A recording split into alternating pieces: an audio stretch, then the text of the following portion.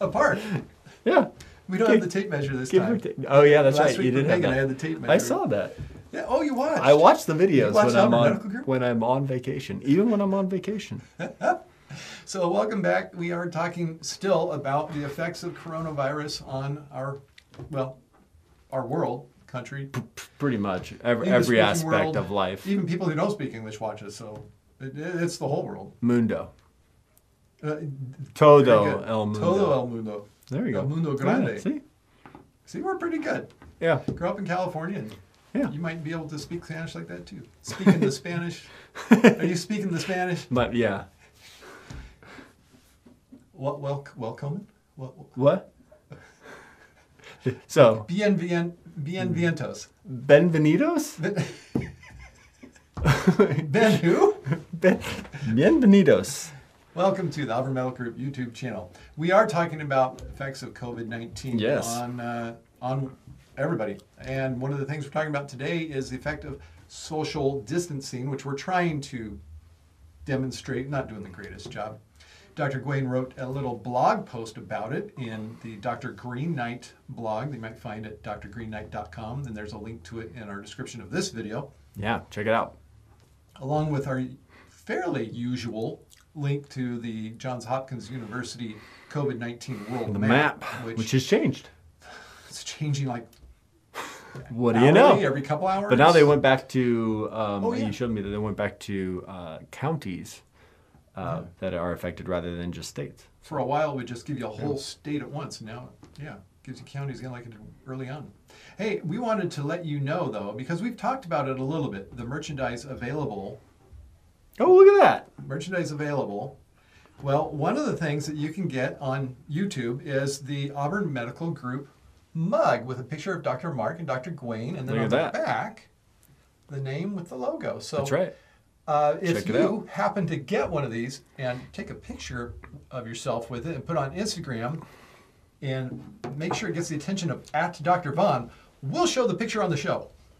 Oh, wow. We will show the picture Look at on that. the show. You, I use show twice in that sentence. yes, you could be famous. So Internet famous. Or, or if you get one of the T-shirts or tank tops or the one of them is kind of like a tank top dress thing, sort of. Have you looked? No, Okay. there's a tank top dress with our pictures Well- on it. Well, no, not with our pictures. With, with our medical group. Well, let us know if you'd rather Ugh. have our pictures. Well, I don't know about that. sign, sign right here, Dr. Vaughan. But, but the reason it's mostly women's clothing is because when you look That's- on that's YouTube our audience, yeah. who watches our show, it is Mostly women. two thirds women. All you women who are So I actually, you know, we do not appeal to men. Well, men just don't care about their health. How about that?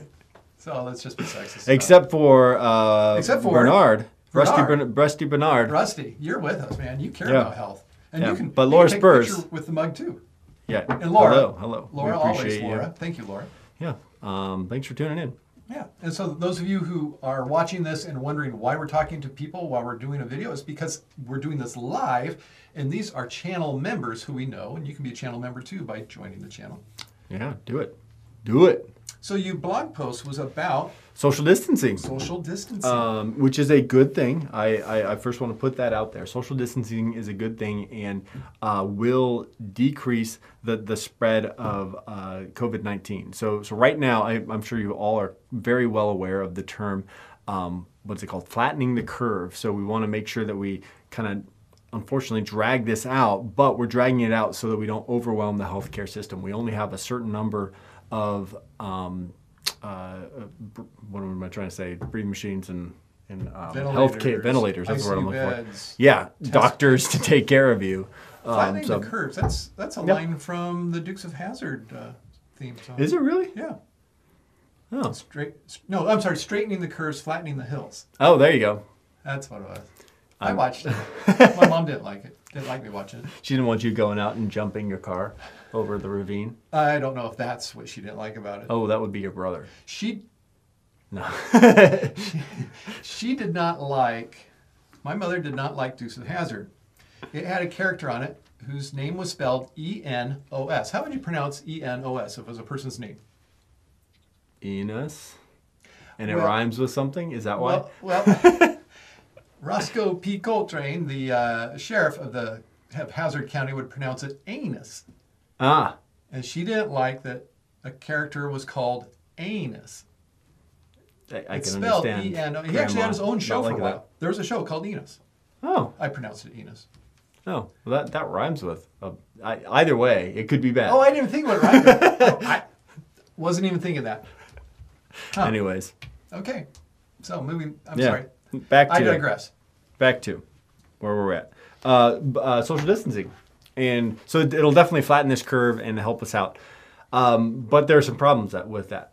Uh, there is some very good research that sho- shows us that uh, when we um, are in contact with people, literal like physical contact with people, it's actually helpful to for us um, uh, uh, for, for our health. It can actually uh, decrease our um, ability to catch the cold. Some studies have done. I actually reference a study in there, which is an, a fascinating read um, if you're into reading medical literature. Uh, but but uh, check out the, the blog post and check out that study. Pretty neat. Um, that that social or uh, sorry physical touch actually can de- can increase your immunity and decrease your chance of getting the cold flu. So is is this uh, social distancing actually hurting us? Is it um, by not being able to have that interaction? Well, obviously, uh, yeah, but it's it's a good thing. Social distancing is still a good thing. So what can we do um, to to actually help out with that? What can we do without, Um, without touching?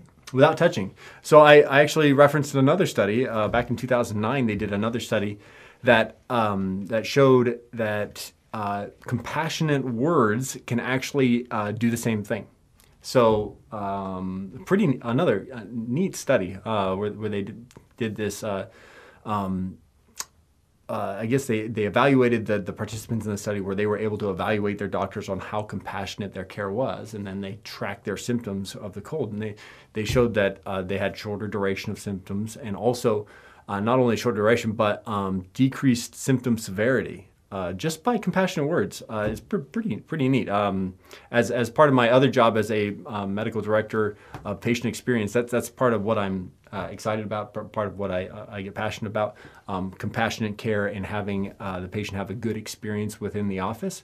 So a lot of that is teaching compassion uh, to physicians and um, reading a book on it called Compassionomics. That's actually where these studies came from, uh, and it's it's just amazing how how it can help. So back to uh, this social distancing. What can we do? Um, I'll hand that over to you. So obviously we can't touch each other. Yeah, it sounds like from what you're saying that we need to be using compassionate words. Yeah. Yeah, I think that's what we need to do. So um, I think you, did you title this uh, YouTube show? The compassion, Good, bad, and necessary. the good, bad, and necessary. So yes, there's going to be problems with social social distancing, but it is necessary. So how do we make it good? So we're going to have to concentrate on, since we can't have Physical- touch and physical. physical communication, we need to work on verbal communication, Right. Which we can do with FaceTime and phone, Right, and you, you, or even in person if there's distance. yeah, if you have six feet, that's okay. I mean, you can Yeah. you can um, go for a walk with somebody and still maintain distance, have a good conversation, and still be six feet away from them. Yes. Um, you can have lunch with somebody. You know, if they're on the other side of the table, but what ways away, you're still On the patio. Yeah, Don't bring prob- them in the probably not this close, uh, but yeah, uh, you can still do Takeout. that. So, so there are ways to get around the social distancing while to still show compassion to those around you. And and I think this is probably most true for for the vulnerable around us. Um, older folks, uh, you know, grandparents and such, they don't always have a lot of interaction anyways because of um, mobility issues. So this is just compounding that and making it worse. Uh, so I think it's very important if you have a grandma or a parent that's that's older, give them a call. Uh, Absolutely. You know, FaceTime them. Do what you can to check in on them and make sure they're doing well, and um, just show them that compassion because they need that. And because people who are over 65 are especially vulnerable, or people with chronic illness, if you have neighbors who are in effect shut ins by Mm. COVID 19, and if you live in those states like we do with the orders to stay in, Yeah. uh, except for going out and getting a walk, Yep. uh, it might be helpful for you to contact your neighbors who are in those situations and say, hey, can I get something from the store for you? Do you need something? That would be a very, very good thing to do. Yeah. And because of compassionate words, it would actually help them in other ways Right. in case they did. Yeah, yeah. It actually may boost their immune system to help fight off uh, anything they get. Um, so some people are uh, asking some questions. We appreciate the interaction. When you're Um, going through those, can I be uh, the the critical one against those studies? Oh, sure, go ahead. So, Yeah. w- when I hear studies like this, I, like many of you, will think uh, that that doesn't sound very scientific.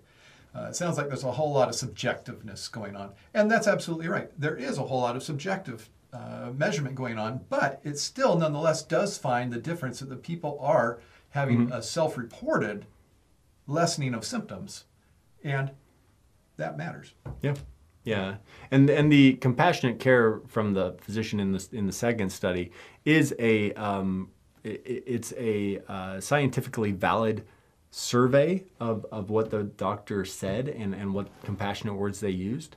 So it's not. It- is still a little bit of the patient's um, perception of that. It is. but it but it still is a, a, scientifically valid. But but that actually is what we're measuring is the Right. perception. So exactly. yeah, so exactly. Yeah. Uh, somebody, uh, who is it here? Uh, Real Ruler 2112, wondering how long they should expect to be out of work. I guess the, the question is, how long is Oh, this going to be uh, an issue?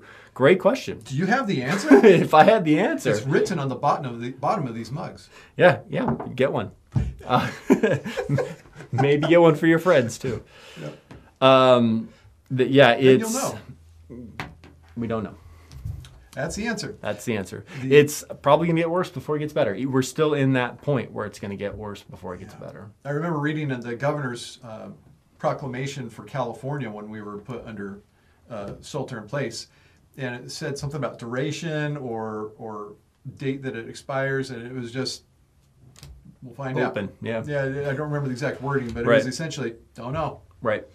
I don't. I don't think anybody who's off work has been given any. Oh, well, we're going to call you up in two weeks and come back in. No, I think it's all open right now. Yeah. My kid's school, your your kid's school. Well, my kids are out for the for rest of the year, Well, right? they're doing online, but Yeah, yeah, but they're they're not going back to the the dorms or We don't even know how we're going to get their stuff out of the dorm. We were going to drive Hmm. down, and then the proclamation came out, and Yeah, you're not even supposed to. so yeah, we don't know. Same thing with my kids. They are currently on spring break, but once they go back, it um, it's it's not going back. It's gonna be uh, you know study at home, home study, Yeah.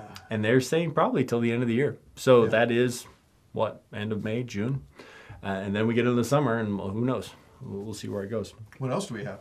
Oh, let's see. Um, let's see. Thank you, 2112. Yes, thanks for the For your comment. Uh, how long does uh, it last once you have it? I, I presume that Laura is re- referring to the COVID 19. Yep. hmm Yeah, I, I, I've been looking for that. I see that they have tracking of people getting over the virus, but I don't know if they're as on top of tracking people who have resolved symptoms as they are people testing positive. Right.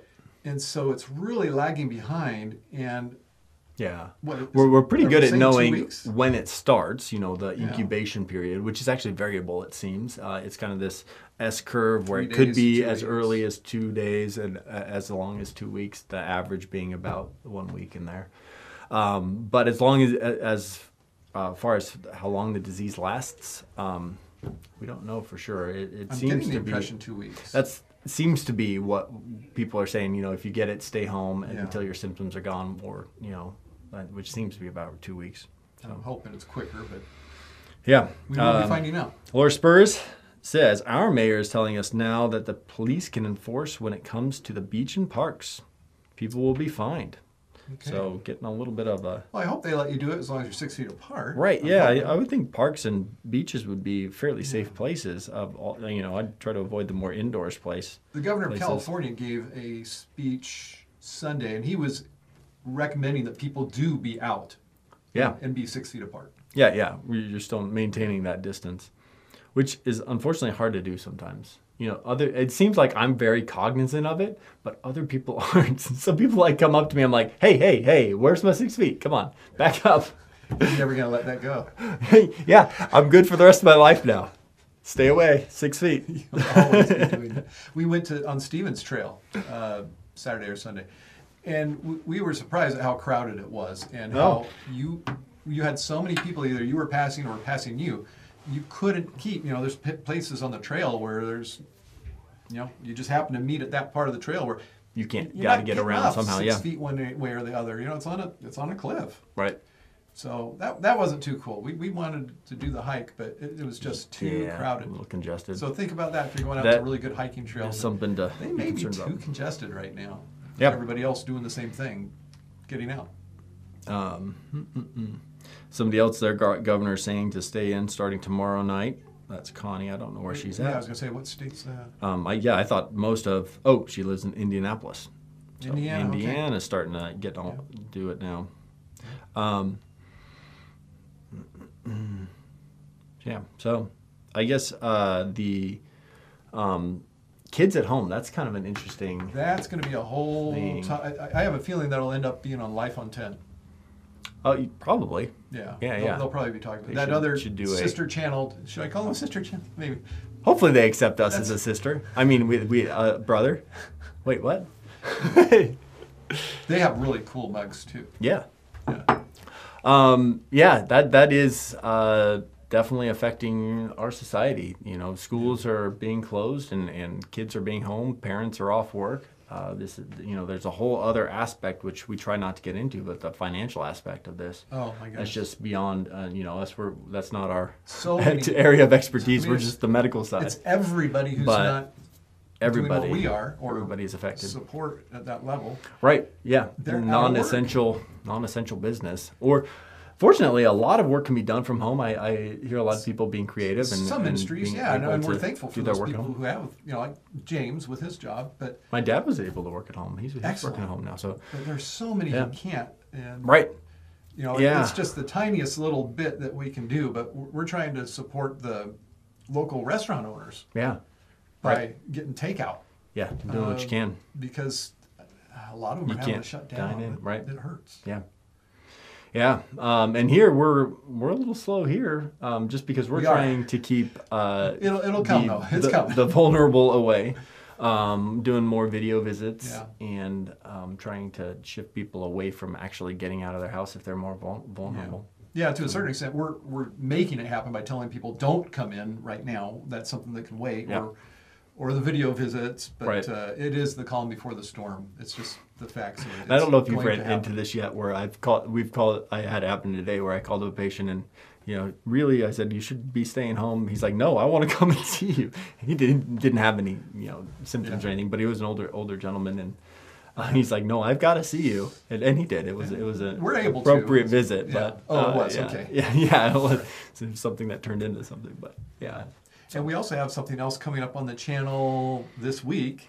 right. You've this, this is kind of a funny thing. I I put out just to channel members the colonoscopy. so that means video, some of you have already seen this. But it actually got announced to everybody who's on notifications, which you get by hitting the little bell icon. So there, anybody who got that notification is able to, or got an email. Did you get an email or? No, just notifications YouTube? pop up. Yeah. So you're able to actually see a video that was only intended for the members, and is not I available for general searching on YouTube, of the the 22 minute version of my colonoscopy a week or so ago. With the, the We will have the 10 minute effects. version with the sounds. Yeah, the 10 minute version does not have those sounds, and that will be out probably this Friday. Yeah, you'll be able to eat during that one. Oh, maybe not. And and that one, yes, that one will not get the comments like, "Oh, seriously, doctor, you put this on YouTube." that was just for the channel members, yeah, then the patrons. yeah. Um, let's see. Any other comments? I think we're pretty. Yeah. Anything else before we uh, Um, patrons? down here, the spring breakers were at the beach. Well, why are they? Spring breakers should be home. I mean, true, truly, conversation. Yeah, spring break That's should not be one of those times where, at least now, where you're going to I thought it'd wherever be cool if they were six feet apart, but apparently Yeah. they weren't. Um, and apparently they weren't really observing any kind of social distancing. pretty sure social distancing and spring break don't Don't go together. go together. All right. So Uh, Lindsay Antwine says, I love not having to leave my house. I still have to go to work, but other than that, I'm home for the duration. Hey, I'm with you. Yep. Good video on Facebook, Yeah, Lindsay. I uh, I enjoy being home too. Yep. Yep. She she went to the store and saw what was going on. Oh, yeah, The whole hoarding. Uh, Oh, my commented goodness. on it. yeah, yeah. It's hard not to comment on that. The, the Yeah. craziness. She actually there. found some toilet paper somewhere in North Carolina, I think. Yeah. Yeah. At a Walmart. Yeah. Wow. Yeah, strange, strange stuff going on. Yeah. So, You, you want to think? Yeah, well, go check out the um, a blog over at drgreenknight.com. Uh, Link link, in the the description. Um, yeah, some uh, pretty good read, if I might say so myself. Some Yeah. good studies to at least That check out there. So, so go look at it. Uh, and if you have not checked out last week's, last week's was fun too. It was a little um, poem that I wrote on Oh, these mitigation techniques. I, I had fun writing that one. I needed something that was a little more lighthearted with everything that was going on. So check those out. But I would like to thank my Patreons, uh, Boo Boo Kitty and Teresa Rowatt. Thank you. You make it happen. Appreciate it. And thank you, Lindsay Antwine. All right. Until next time, Yeah, I'm Dr. Gawain Vaughan. Dr. Mark Vaughan telling you to stay in good health. See ya. And take a picture with the mug. Get, buy a mug. Have some water.